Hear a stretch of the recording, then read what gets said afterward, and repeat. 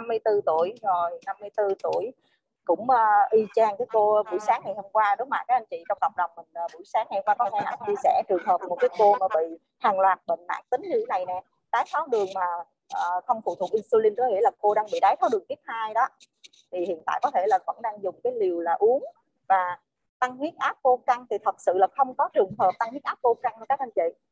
Nó có lý do nhưng mà y học hiện đại chưa chứng minh được cái điều đó chứ không có cái gì là không có uh, không có căn nguyên của nó hết. À, nhưng mà họ không chấp nhận những cái thuyết của y học dinh dưỡng về cái tình trạng tăng huyết áp là do những cái uh, uh, bích tắc và mình có thể giải quyết được bằng cái vấn đề dinh dưỡng. Ngoại trừ một số trường hợp mà mình biết là do những cái suy cái tuyến thượng thận hoặc là một uh, số cái nguyên nhân khác mà có lý do thì họ lại không tìm ra được lý do tới 95 trăm. Các anh chị thấy không ạ? Thì rõ ràng là khi mà cái y học dinh dưỡng đã giải quyết được cái nguyên nhân của tăng huyết áp các anh chị.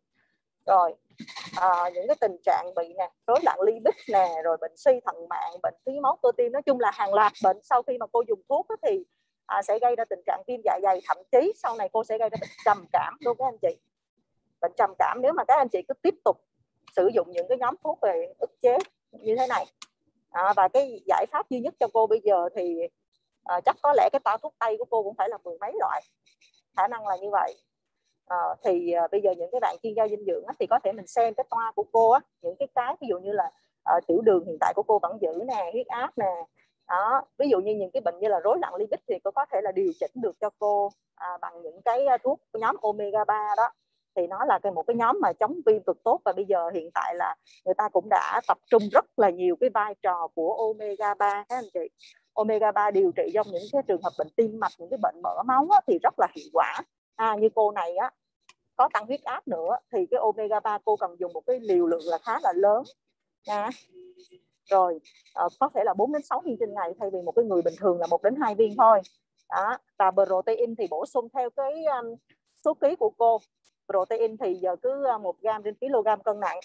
Ờ, omega 3 protein và cần những cái nhóm dinh dưỡng đa vitamin khoáng chất và dưỡng chất thực vật.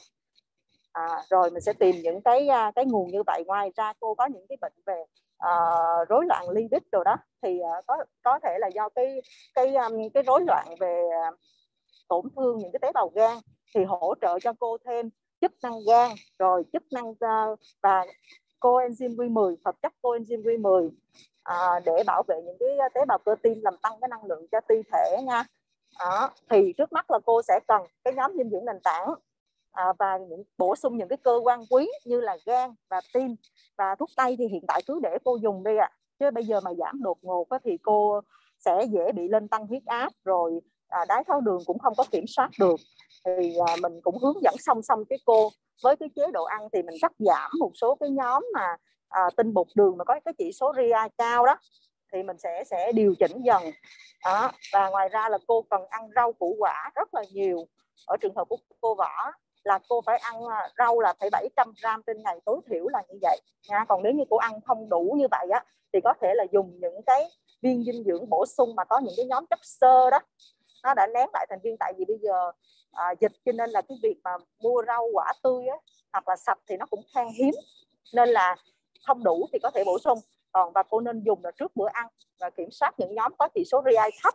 Đó thì cái chế độ của cô là như vậy. Và nếu mà được thì thì làm thêm cái giải pháp ép bắt đại tràng cho cô nữa để đào thải những cái độc tố trước giờ mà à, đã tiềm ẩn trong cơ thể của mình.